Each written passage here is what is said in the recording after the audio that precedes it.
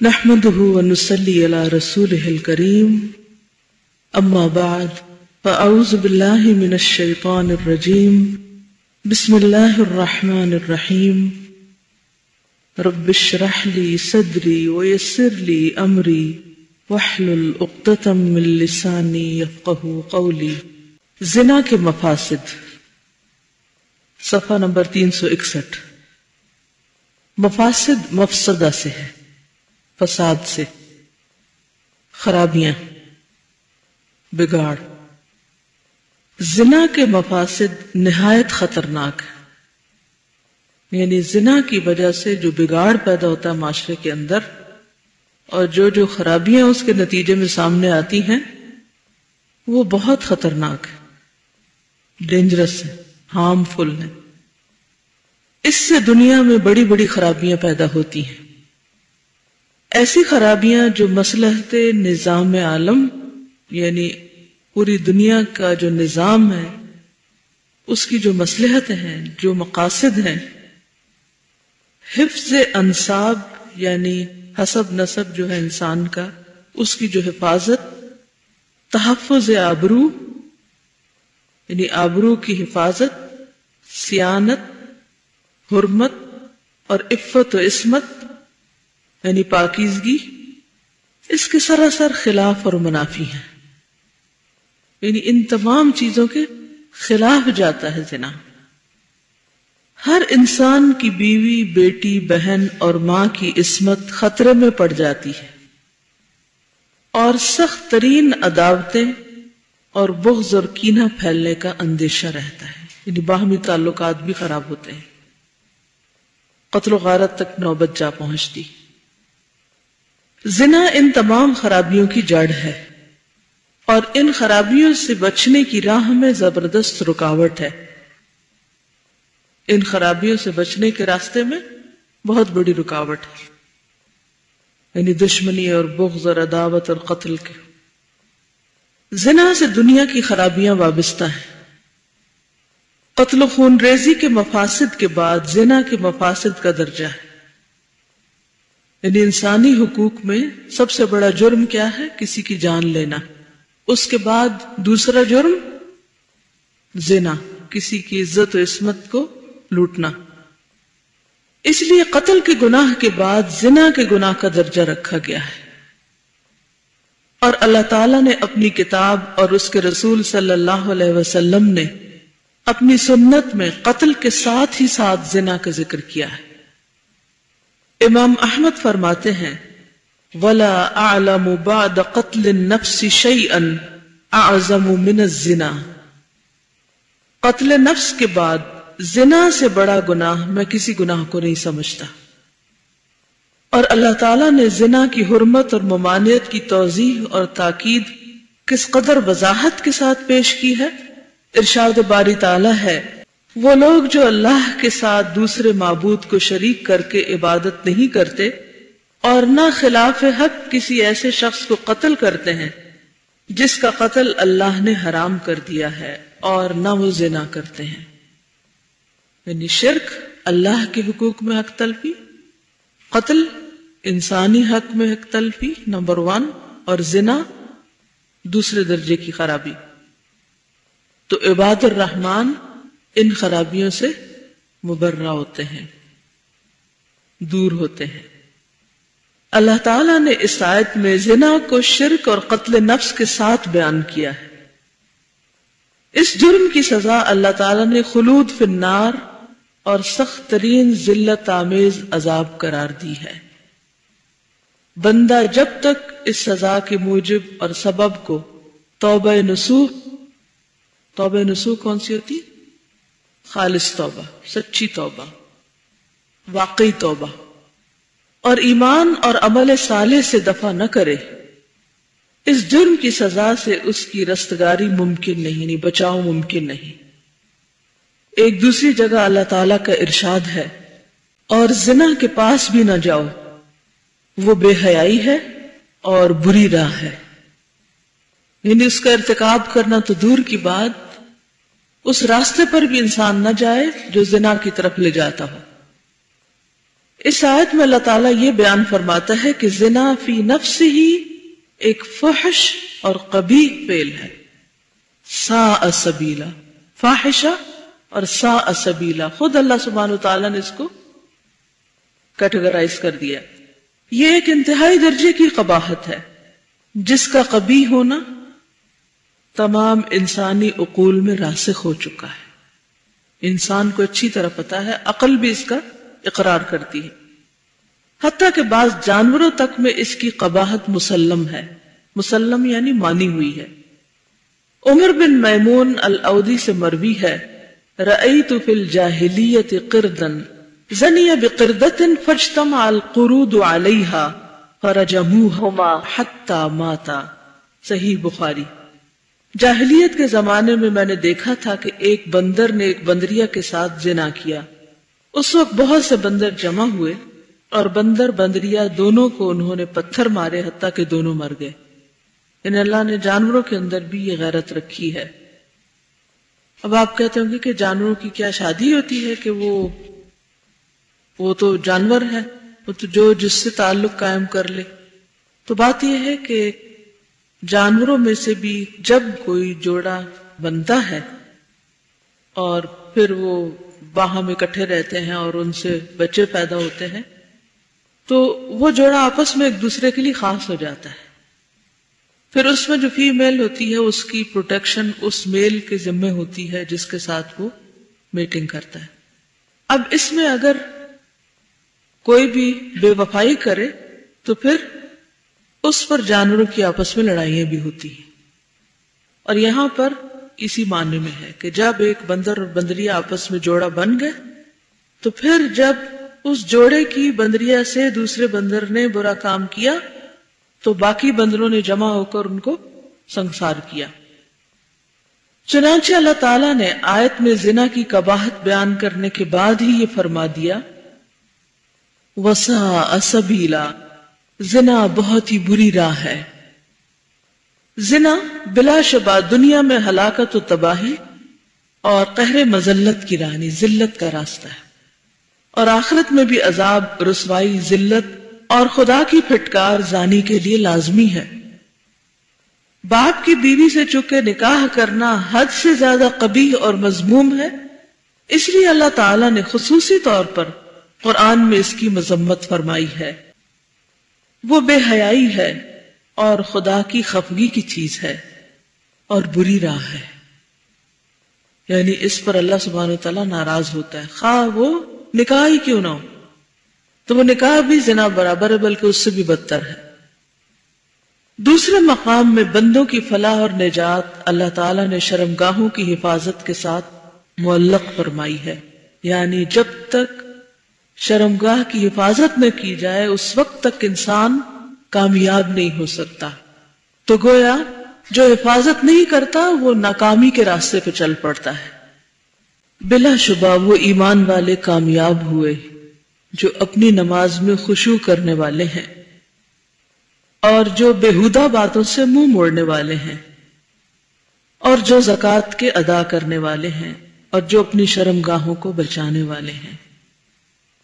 بجز اپنی بیویوں یا لونڈیوں کے تو وہ قابل ملامت نہیں ہے اور جس نے اس کے سوا کوئی اور رائے اختیار کی، وہی لوگ زیادتی کرنے والے ہیں یعنی گمراہ ہیں۔ یہ آئے تین امور پر مشتمل ہے۔ اول، جو آدمی شرمگاہ کی حفاظت نہیں کرتا، وہ فلاح سے محروم ہے یعنی کامیاب نہیں ہو سکتا۔ دنیا میں آپ دیکھیں کہ اگر کسی انسان کو ناکامی کی خبر ملے اپنی یا اپنی اولاد کی یا کسی عزیز قریبی کی، تو انسان کے لیے کتنا تکلیف دہ ہوتا ہے۔ بعض لوگ باقاعدہ ڈپریشن کا شکار ہو جاتے ہیں۔ مثلا، کوئی اپنے آخری امتحان میں ناکام ہو گیا یا ایک سے دوسری دفعہ اس نے امتحان دیا اور کامیاب نہیں ہوا، تو بعض اوقات لوگ مینٹل مریض بن جاتے ہیں، ذہنی مریض بن جاتے ہیں۔ اسی طرح اگر کسی کی جاب چلی گئی یا یہ کہ کوئی پیسہ چوری ہو گیا یا کوئی اور نقصان ہو گیا۔ تو دنیا میں چھوٹا نقصان یا بڑا نقصان انسان کو رنجیدہ کرتا ہے، پریشان کرتا ہے۔ اور دنیا کے نقصانوں کو انسان نقصان سمجھتا ہے، لیکن آخرت کے نقصان کو بازوقت ہم نقصان سمجھتے نہیں، اس لیے عموماً اس کی طرف سے غافل رہتے ہیں۔ تو یہ بات لازم ہے کہ جو شخص زنا کے رستے پہ چلتا وہ کامیاب نہیں ہو سکتا۔ دنیا میں بھی نہیں ہو سکتا، آخرت میں بھی۔ دنیا میں کیوں ناکامی ہوتی؟ اس لیے کہ ایسا شخص جو ہے، چاہے مرد ہو یا عورت ہو، وہ ٹرسٹ وردی نہیں ہوتا۔ سب سے پہلے تو اللہ کی نافرمانی کر کے انسان کا دل کبھی بھی خوش نہیں ہو سکتا۔ اس کے اندر ہمیشہ ایک گلٹ ہوتی، ایک ندامت ہوتی، ایک پشمانی ہوتی۔ انسان کسی کے ساتھ نگاہ نہیں ملا سکتا۔ ایسے لوگ کانفیڈینس لوز کر جاتے، جب ان کے اندر ایک گلٹ ہوتی۔ ہے بظاہر وہ کتنے بھی بعض اوقات اوور کانفیڈنٹ بنے، لیکن ان کے اندر کا چور ان کو پرسکون نہیں رہنے دیتا۔ دوسری بات یہ ہے کہ ایسے لوگوں کی شادی عموماً کامیاب نہیں ہوتی، کیونکہ جب انسان دنیا میں کسی کو دھوکہ دیتا ہے انفیتھ فل ہوتا ہے، تو لازمن اس کا نتیجہ باہمی رنجشوں اور بغض اور دعوت کی شکل میں آتا ہے، کیونکہ اللہ نے انسان کے اندر ایک غیرت کا مادہ رکھا ہے۔ تو غیرت کا مادہ عموماً انسان کے اندر جب بھڑکتا ہے تو پھر اس کے شولے دور دور تک جاتے ہیں۔ بعض اوقات آپ نے دیکھا ہوگا کہ لوگ زنا کی وجہ سے قتل کر دیتے ہیں، اپنے قریبی خونی رشتوں تک کو۔ پھر اسی طرح یہ ہے کہ جیسے ہم نے پہلے بھی پڑھا تھا کہ یہ بات انسان یاد رکھے کہ کوئی بھی گناہ سزا سے خالی نہیں۔ یہ سزا دنیا میں بھی ہو سکتی ہے اور آخرت میں بھی ہو سکتی ہے۔ اگر انسان توبہ نہیں کرتا تو پھر لازمن اس کا نتیجہ بھگتنا ہوگا اس کو۔ تو اس لیے اگر انسان واقعی کامیاب لوگوں میں شامل ہونا چاہتا ہے تو اس کو اس برائی سے دور بھاگنا ہوگا۔ اس کے ارتکاب کی تو بات دور رہی، اس کے قریب جانے سے بھی انسان ڈرے۔ وہ راستہ بھی چھوڑ دے۔ کیونکہ وہ راستہ کیا ہے کہ شیطان جو ہے وہ انسان کو آہستہ آہستہ آہستہ اس کو خوشنما بنا کر اس کا جواز پیش کر کے انسان کو اس میں مبتلا کر دیتا ہے۔ اسی لیے اللہ نے تمام برائیوں سے پہلے ایک روک لگائی ہے، جس کو سد ذریعہ کہتے سد ذریعہ کا مطلب یہ کہ وہ ذریعہ، وہ راستہ بند کیا جائے جہاں سے شر آ رہا ہے۔ مثلا آپ کمرے میں ہیں اور آپ نے اے سی لگایا ہوا ہے، تو اس کی ٹھنڈک حاصل کرنے کے لیے آپ کیا کرتے ہیں؟ دروازے بند کرتے ہیں۔ صرف دروازے نہیں بند کرتے، بلکہ اگر دروازوں کے نیچے یا اوپر یا کہیں کوئی سوراخ ہو تو آپ اس کو بند کر دیں۔ کیوں؟ کیونکہ اگر آپ نے ایک طرف اے سی لگایا ہوا اور دوسری طرف ونڈو کھلی ہے یا دروازے میں سوراخ ہے، تو وہ اے سی اپنا کام پراپر نہیں کرے گا۔ آپ کو ٹھنڈک نہیں ملے گی پوری طرح۔ وہ آنے والی گرم ہوا اس ٹھنڈک کو ضائع کر دے گی۔ تو آپ اس سوراخ کو بند کرتے۔ مسئلہ اگر آپ خاموشی کے ساتھ کسی جگہ پر کام کرنا چاہتے ہیں، تو آپ سارے دروازے بند کرتے ہیں۔ تک اگر کوئی ایسا سوراخ روشن دان یا کوئی بھی چیز کھلی تو آپ اس کو بھی اچھی طرح بند کر دیں تاکہ ڈسٹرب نہ ہو۔ یہ قدرتی قاعدہ ہے۔ ایک عام اصول ہے زندگی کا کہ آپ نقصان دہ راستوں کو بند کرتے ویسے کسی سوراخ میں آپ دیکھتے ہیں کہ یہاں کیا پتا کوئی بچھو نکل آئے کوئی سانپ نکل آئے تو کیا کرتے ہیں؟ فوراً اس کو بند کرنے کی کوشش کرتے ہیں۔ تو انسان کسی بھی چیز کے نقصان کے جو راستے ہیں، ان سے بھی بچتا ہے۔ اب مثلاً آپ دیکھیں کہ جیسے ریڈ لائٹ سے پہلے، گرین اور ریڈ کے بیچ میں ایک یلو لائٹ ہے وہ یلو لائٹ کیا ہے؟ اس کی اپنی حیثیت کیا ہے؟ الرٹ کرتی ہے نا کہ نہیں، اب بس، اب رک جاؤ یہاں۔ رکنے کی تیاری کر لو۔ لیکن عموماً لوگ کیا کرتے ہیں اس یلو لائٹ پہ اور تیز کر لیتے ہیں گاڑی۔ بجائے اس کے کہ آہستہ کرے اور تیز کرتے کہ بند ہونے لگا تو چلو۔ تو عموماً حادثات اسی پہ ہوتے ہیں۔ یلو لائٹ پہ زیادہ حادثات ہوتے ہیں۔ جب لوگ اس کو کیونکہ وہ گرے ایریا ہے نا، نہ وہ گرین ہے، نہ وہ ریڈ ہے، تو لہٰذا اس کو وہ گرین بنانے کی کوشش کرتے ہیں، جبکہ وہ گرین ہے نہیں۔ نقصان اٹھاتے ہیں۔ اسی طرح برائیوں اور خرابیوں کے بھی کئی راستے ہیں۔ ان برائیوں کی طرف عموماً شیطان انسان کو لے کے جاتا ہے۔ اور سب سے پہلے وہ انسان کے دل میں برائی کا خیال ڈالتا ہے۔ اگر انسان وہی پر دروازہ بند کر دے تو آگے برائی کا رستہ بند ہو جاتا ہے۔ اسی لیے اللہ سبحانہ تعالیٰ نے ہمیں دعا سکھائی ہے، قل اعوذ برب الناس ملک الناس الہ الناس، من شر الوسواس الخناس۔ وسواس کیا ہے؟ وسواس کا کیا معنی ہوتا ہے؟ آپ بتائیے۔ وسوسہ؟ خیال؟ پتوں کے کھڑکڑانے کی آواز؟ وسواس کا معنی بتائیے۔ ڈالنے والا، وسوسہ ڈالنے والا ہے کیا ہو گیا آپ لوگوں کو؟ وسواس کا معنی نہیں آتا۔ جی۔ ساہٹ وہ تو وسوسہ ہوتا ہے۔ تو یہ آپ میں سے کوئی کلوز برب الناس پڑھتے ہیں؟ بے سوچے سمجھے پڑھتے ہیں؟ مجھے لگتا تو ایسے ہی ہے۔ آپ کیا پڑھ رہے ہوتے ہیں پھر؟ جی آپ بتائیے۔ برے خیالات، وہم، شابش، وسوسہ ڈالنے والا۔ وسواس کہتے ہیں وسوسہ ڈالنے والا۔ بن شرل وسواس کون ہے وہ؟ شیطان؟ دیکھ لیں اپنی قابلیت۔ وسواس۔ یعنی مجھے ریلی افسوس ہے کہ آپ لوگ وسواس کا معنی نہیں جانتے۔ اور صحیح معنی نہیں جانتے۔ یہ جواب نہیں تھے جو آپ نے دیے۔ اس سے آپ سب کی تعلیمی قابلیت کا اندازہ ہو رہا ہے کہ آپ کس مقام پہ کھڑے اور آپ کیا کر رہے ہیں۔ پناہ کس سے مانگیں گے؟ جو پتہ ہی نہیں کہ کیا کہہ رہے ہیں۔ بے سوچے سمجھے پڑے جا رہے ہیں۔ وسواس جو ہے، یہ مبالغہ کا سیگا ہے۔ اور پھر اس کے ساتھ جب ال لگ گیا تو اور بھی زیادہ بڑا ہو گیا۔ الوسواس ابلیس کی طرف اشارہ ہے۔ وہ بڑا وسوسہ ڈالنے والا۔ مبالغے میں کیا ہوتا ہے؟ مبالغہ کس کو کہتے کسی چیز کو بڑا بنا کے پیش کرنا۔ تو الوسواس مراد ہے اس سے ابلیس یا بڑا وسوسہ ڈالنے والا۔ اور وسواس کا لفظ جو ہے، یہ وس وسا سے ہے۔ وس وس اس کے اندر کیا پایا جاتا ہے؟ تکرار۔ تو اس کے نام کے اندر ہی کیا مانا ہے؟ کہ وہ بار بار تکرار کرتا ہے اپنے کام میں۔ اور پھر الخناس۔ خناس کا کیا مانا ہے؟ پیچھے ہٹ جانے والا۔ بار بار پلٹ کر آنے والا۔ یعنی صرف پیچھے ہٹنا نہیں ریٹریٹ نہیں، بلکہ پھر پیچھے جا کے، کب پیچھے جاتا ہے؟ جیسے حدیث میں آتا ہے کہ اذا ذکر اللہ خنسا جب اللہ کا ذکر کرتا ہے انسان، تو وہ ڈرتا ہے، پیچھے ہٹ جاتا ہے۔ پچھلی دفعہ ہم نے پڑھا تھا کہ لا الہ الا اللہ کیا کرتا ہے؟ استغفار کیا کرتا ہے؟ شیطان کے لیے تیر کی طرح ہے۔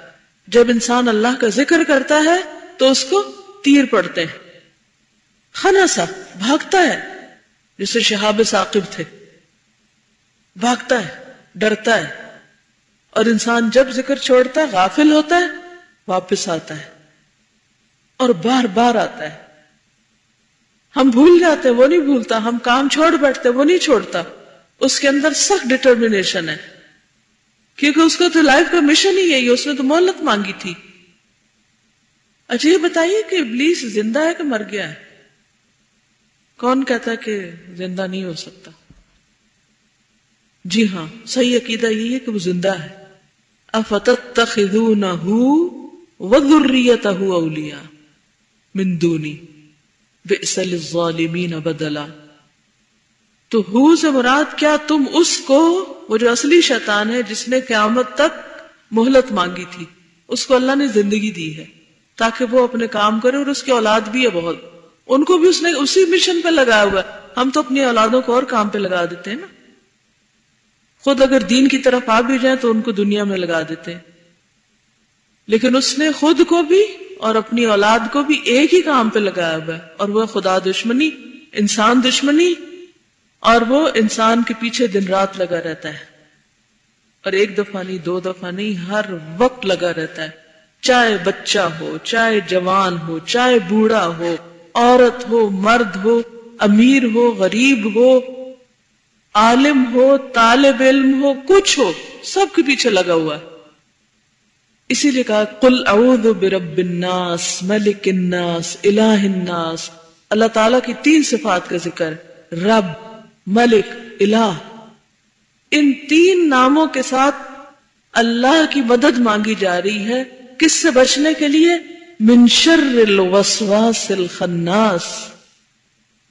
اس بڑے دشمن سے بچنے کے لیے جو پلٹ پلٹ کے آتا ہے۔ اللہ وہ جو یو وس وسو وسوسا ڈالتا ہے، خیال ڈالتا ہے۔ فی صدور الناس۔ انسانوں کے سینوں میں، صدر میں۔ دل نہیں ہے، صدر ہے۔ کیونکہ دل کے اندر آ گیا تو اس نے تو پھر تباہی کر دی۔ اللہ نے اس کو بس کہاں تک کی لمٹ دی ہے؟ صدر تک۔ اور صدر کیا ہوتا ہے؟ جس کے اندر دل ہے۔ یو انڈرسٹینڈ وہ مقام جہاں قلب رکھا گیا ہے۔ تو وہ آتا ہے اور اس مکان کے اندر تک آ جاتا ہے۔ اب یہ آپ پر ہے کہ آپ اس کے لیے دل کا دروازہ کھول دیں یا پھر آپ دروازہ نہ کھولیں۔ اگر آپ نے دروازہ کھول دیا اس کے لیے اور دل کو اس کے لیے مہمان خانہ بنا دیا، اب وہ کیا کرے گا؟ آ کے مورچے پہ قبضہ کر لے گا اور وہاں سے پھر وہ حکم دے گا۔ آنکھوں کو بھی، کانوں کو بھی، زبان کو بھی، ہاتھوں کو بھی، پاؤں کو بھی۔ بس پھر تو وہ آپ پہ حاوی ہو گیا۔ پھر نہیں چھوڑتا۔ پھر آپ کو اللہ کے رستے سے دور لے جائے گا، پاؤں کے ساتھ بھی اور ذہن کے ساتھ بھی اور سوچوں کے ساتھ بھی اور ہاتھوں کے ساتھ بھی۔ اور پوری کی پوری آپ کی پرسنالٹی چینج ہو کر رہ جائے گی، کیونکہ اس نے آپ پہ کنٹرول کر لیا۔ لیکن اگر آپ نے اپنے دل کی حفاظت کی ہوئی ہے اور اس کے اندر تقوی کا نور ہے اور اس کی روشنی ہے اور وہ آنے کی کوشش کرتا ہے اور دیکھتا کہ اتنی روشنی تو بھاگ جاتا ہے، کیونکہ اسے تو اندھیروں سے محبت ہے نا۔ شام کا اندھیرا ہوتا ہے تو اور زیادہ پھیل جاتا ہے ایکٹیو ہوتا ہے۔ رات کو وہ زیادہ کام کرتا ہے، دن کی نسبت بھی۔ ہم تو رات کو، ہم سو جاتے ہیں، وہ نہیں سوتا رات کو بھی۔ اسی لیے آپ دیکھیں کہ جب یہ کہا گیا قل اعوذ برب الفلق من شر ما خلق و شر غاسق اذا وقب، کیونکہ غاسق رات جو ہے، اس کا شر زیادہ ہے۔ اس سے خاص طور پر پناہ مانگی گئی کہ اللہ اس کے شر سے بھی بچانا۔ تو اب آپ دیکھیں کہ جب اندر ایمان کی روشنی، علم کی روشنی، تقوی، اخلاص، للہ فی اللہ اللہ کی محبت، اللہ پہ توکل اور یقین اور اعتماد اور اللہ کی رضا پہ راضی ہونا انابت بار بار اللہ کی طرف پلٹنا، یہ سب کچھ آپ کے دل کو جب زینت بخشتا ہے، تو پھر کیا ہوتا ہے؟ شیطان اندر آنے سے ڈرتا ہے، بھاگتا ہے، خوف کھاتا ہے، اندر نہیں آ پاتا۔ لہذا جب آپ اس دروازے کو بند کر لیتے ہیں اور وہ صرف اپنے رب کے لیے خالص کر لیتے ہیں تو ان عبادی لئی سلک علیہم سلطان۔ میرے بندوں پہ پھر تیرا کوئی زور بس چلتا ہی نہیں۔ پھر وہ کچھ نہیں کر سکتے۔ لیکن آپ نے اگر دروازہ کھول دیا اور اس کی باتوں کے چکر میں آ گئے، پھر وہ آپ کے دل کے اندر حرام چیزوں کی محبت ڈالے گا، حرام تعلقات کے خیال ڈالے گا۔ اور اگر آپ نے ان کو مزید تقویت دی گانے سن کے، فحش مناظر دیکھ کے، حرام مجلسوں میں شرکت کر کے، نتیجہ کیا ہوگا؟ پھر وہ آپ کو اپنا ساتھی بنا لے گا۔ پھر وہ آپ کا کیا بن جائے گا؟ کریم ذکر الرحمن نقیز لہو شیطانا فہو لہو قرین پھر وہ اس کا قرین بن جاتا ہے۔ ہر وقت پھر وہ اس کے ساتھ رہتا ہے۔ پھر وہ اس سے دوستی ہو جاتی ہے اس کی۔ تو اب کیا ہے؟ الوسوس فی صدور الناس من الجنتی والناس۔ تو اصل میں وسوسے جنوئی کی طرف سے ہوتے شیطان کی طرف سے ہوتے اناس جو ہے وہ وہ لوگ ہوتے ہیں جن پر شیطان حاوی ہو چکا ہوتا ہے۔ اور پھر وہ اس کے اعلی کار بن جاتے ہیں، اور پھر وہ باتیں جو اس نے ان کے دلوں پہ القا کی ہیں وہ اس کا ٹول بن کے دوسرے انسانوں کو بھی یعنی وہ اس کی پارٹی میں شامل ہو جاتے ہیں۔ ایسے لوگوں کو کیا کہتے حزب الشیطان۔ حزب الشیطان میں اس کے ممبر، اس کے رکن انسان بھی ہیں اور شیطان بھی ہیں۔ پھر وہ مل جل کے حملہ آور ہوتے ہیں اور انسانوں کو پوری طرح اپنے قبضے ملے ایسا جب دل کا حال ہوتا ہے تو پھر انسان کو اللہ کے ذکر سے چڑ ہوتی ہے، دل مردہ ہو جاتا ہے۔ قرآن کی کوئی تلاوت لگائے تو پھر ان کو یوں لگتا ہے جیسے کسی نے ان کو تیر مارا ہو۔ وہ اس کو سٹینڈ نہیں کر سکتے، وہ پھر کیا کرتے ہیں؟ بند کرو اس کو I don't want to listen ذکر کی مجلسوں میں ان کا دل ہی نہیں لگتا۔ دین کی طرف وہ آنا ہی نہیں چاہتے۔ کوئی دین کی بات کرے تو وہ اس سے کوسوں بھاگتے ہیں دور۔ اور پھر وہ بھڑک اٹھتے ہیں۔ پھر ان کے اندر چنگاریاں اٹھ جاتی ہیں اور وہ دین کی بات، اللہ رسول کی بات سن کے غضبناک ہوتے ہیں۔ یہ غصہ کس کی طرف سے ہوتا ہے پھر شیطان کی طرف سے۔ وہاں بھی وہ موجود ہوتا ہے۔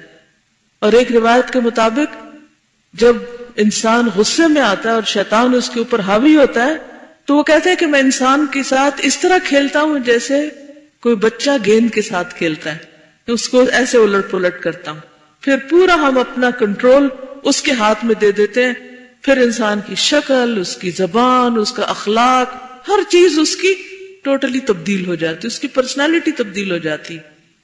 وہ اللہ کا بندہ نہیں رہتا، وہ شیطان کا بندہ بن جاتا ہے اس وقت۔ کیونکہ وہ شیطان کے حکم کا پابند ہو جاتا ہے۔ اس کے حکم کے پھیر میں آ جاتا ہے۔ پھر وہ منہ سے اول پھول بکنے لگتا ہے۔ پھر وہ نگاہوں سے بھی ایسے ہی ایکشن کرتا ہے۔ پھر اس کے ہاتھ حتیٰ کہ قتل و غارت تک سے بھی وہ پرہیز نہیں کرتا۔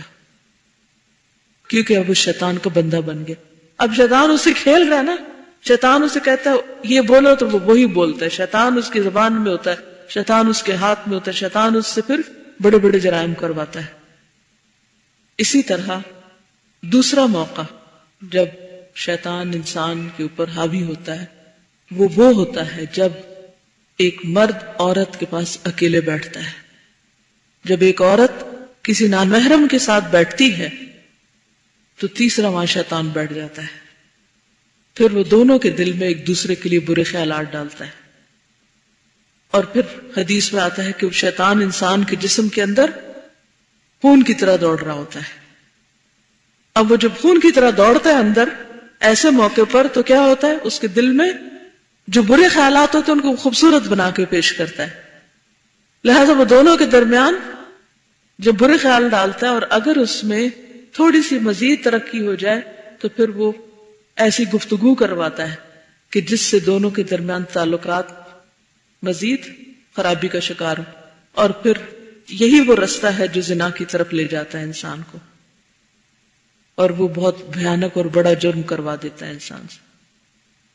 تیسرا موقع جب انسان پر شیطان حاوی ہوتا ہے یہ شیطان خاص طور پر اس موقع پر وہ بہت ایکٹیو ہوتا ہے، وہ وہ وقت ہے جب وہ جہاد فی سبیل اللہ کے لیے نکلتا ہے۔ اور وہ اس کے پیچھے لگ جاتا ہے، حتیٰ کہ وہ اس راستے سے اس کو باز کرتا ہے۔ وہ دین کے راستے میں نکلتا ہے، جنگ کے لیے نکلتا ہے، یا ویسے دین کی خدمت کے لیے نکلتا ہے تو وہ پوری طرح سرگرم عمل ہو کے اس کے پیچھے لگتا ہے، حتیٰ کہ اس کو اس راستے سے موڑ لیتا ہے۔ اس کے دل میں کبھی بیوی بچوں کا خیال ڈالتا ہے، کبھی اس کی اپنی عزت نفس کا خیال ڈال دیتا ہے۔ کبھی کسی ایسی چیز کا کہ جس کی وجہ سے وہ یعنی اس وقت تک وہ چین نہیں لیتا جب تک انسان باز نہیں آ جاتا۔ اس کا رخ پھیر نہیں لیتا۔ کیونکہ اس کو خطرہ یہ ہوتا ہے کہ جب تک یہ شخص اس رستے پہ ہے تو نہ صرف یہ کہ خود استقامت ہوگی اس کے اندر، بلکہ دوسروں کو بھی اپنا ساتھی بنا لے گا۔ اور جب ساتھی بنا لے گا تو اس کو ایک ماحول مل جائے گا۔ پھر یہ ایک اور مضبوط قلعے میں آ جائے گا۔ پھر اس پہ میرا بس نہیں چلے گا۔ لہذا وہ کیا کرتا ہے؟ اس کو ایسے ماحول سے الگ کرنے کی کوشش کرتا ہے۔ کبھی کسی جاب کی اٹریکشن دے کے، کبھی کسی اور کام کی اٹریکشن دے کے۔ حتیٰ کہ انسان دینی سرکل سے نکل کر پوری طرح دنیا کے سرکل میں چلا جاتا ہے اور جب وہ اس میں جاتا ہے تو پھر وہ اس کو پوری طرح اپنا شکار بنا لیتا ہے اور پھر اس کے اندر ایک ایسی شرمندگی بھی ہوتی ہے انسان کے اندر کہ واپس بھی نہیں پلٹتا، کیونکہ واپس پلٹنے پھر انا حائل ہو جاتی تو خصوصی طور پر یہ تین ایسے مواقع ہیں کہ جب انسان شیطان کے بڑے حملے میں ہوتا ہے۔ اور اس میں آپ دیکھیے کہ انسان جب اپنے کسی ذاتی کام سے نکلتا ہے۔ تو چونکہ اس میں اس کی دنیا کا فائدہ ہوتا ہے وہ ڈٹرمنٹ ہوتا ہے کہ میں نے کچھ فائدہ حاصل کرنا ہے۔ لہذا اس کا طریقہ کیا ہوتا ہے کہ وہ کوئی کچھ کہہ بھی دے، کوئی تکلیف بھی ہو، گرمی ہو، سردی ہو، بیماری ہو۔ انسان کو پتا ہوتا ہے کہ کوئی مجھے بینیفٹ مل رہا ہے، وہ پھر بھی نکلتا ہے اس رستے میں۔ اسی لیے آپ دیکھیں کہ جو لوگ دنیا کی جاب کرتے ہیں بہت پنکچل ہوتے ہیں۔ بڑی زبردست کارکردگی دکھاتے ہیں تاکہ دنیاوی ترقی کے مواقع ان کو ملتے جائیں۔ شارٹ ٹرم انسینٹیوز ہوتے ہیں اس میں۔ اور شیطان ان کو اور زیادہ اٹریکٹو بناتا ہے۔ لیکن وہی شخص سیم پرسن جب دین کے کام کے لیے نکلتا ہے، تو چونکہ شارٹ ٹرم انسینٹیوز بعض اوقات کم ہوتے ہیں لانگ ٹرم چیزیں ہوتی ہیں، تو وہ لانگ ٹرم کہتا ہے، کل کس نے دیکھی۔ یہ ایسی باتیں ہیں۔ اس کے یقین میں کبھی کرتا ہے اس کو شکوک و شبہات میں مبتلا کرتا۔ وہی شخص جو دنیا کے لیے دن رات کام کرتا ہے، دین کے لیے، آگے پیچھے کر کے بات ختم۔ آپ اپنے آپ کو دیکھ لیجیے، اگر آپ کو اپنی کسی دنیاوی ڈگری کے لیے پڑھنا ہو، تو ایسے ہی پڑھیں گے جیسے قرآن پڑھ رہے ہیں آپ۔ تو بات یہ ہے کہ وہ دشمن صرف کسی ایک شخص کے ساتھ نہیں، وہ سب کے پیچھے۔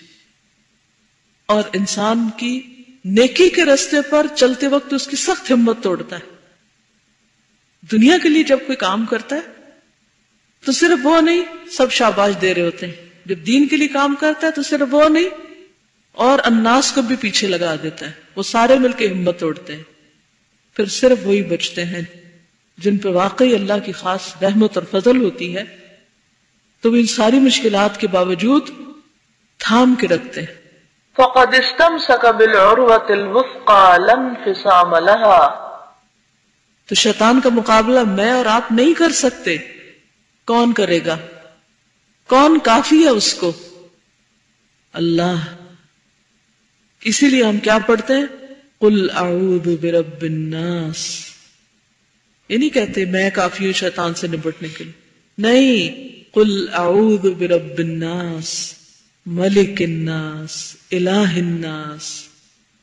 بار بار تکرار کے ساتھ رب کو پکارتے ہیں۔ اس کی پناہ میں اپنے آپ کو دیتے ہیں کہ اللہ تو ہمیں بچا لے، محفوظ کر لے۔ من شر الوسواس الخنا وہ بڑے جو وسواس کا لفظ آتا ہے تو یوں لگتا ہے جیسے کوئی ہیوج کسی قسم کا جانور، جیسے کوئی حملہ آور ہو رہا ہو۔ لٹرلی ایسا لگتا ہے کہ جیسے کوئی دشمن آ رہا ہے سر پہ۔ ڈرتے ہی نہیں ہے کہ کوئی حملہ آور ہو رہا ہے، بچیں گے کیا؟ کس روح کے ساتھ دعائیں پڑیں گے؟ من شر الوسواس الخناس الذي يوسوس في صدور الناس من الجنة والناس۔ تو انسان بڑے بڑے گناہوں، جرائم سے بچ نہیں سکتا جب تک کہ اللہ کی مدد اس کو حاصل نہیں ہوتی۔ اور وہ اللہ کا سچا بندہ نہیں بنتا۔ اللہ کے ساتھ خالص وفاداری نہیں کرتا اور اللہ کے سوا ہر ایک کو دل سے نکال نہیں دیتا۔ اسی لیے کہا نا کل ان سلاتی و نسخی و محیا و مماتی للہ رب العالمین جب انسان واقعی اللہ کے لیے خالص، سچا ہوتا ہے، تو پھر پھر شیطان کا بس نہیں چلتا۔ لیکن جب تک نہیں ہوتا، اللہ تعالیٰ انسان کو امتحانوں میں ڈالتا رہتا ہے، اس کے اخلاص کو ٹیسٹ کرنے کے لیے۔ جو واقعی مخلص ہوتے ہیں وہ پار ہو جاتے ہیں اور باقی رستے میں گر پڑتے ہیں۔ تو ہم میں سے ہر ایک کو اپنی فکر کرنی چاہیے۔ دوسروں کے بارے میں نہیں، اپنے بارے میں سوچنا چاہیے کہ ہم کہاں کھڑے ہیں اور ہم ایسے مواقع پر کیا کرتے ہیں۔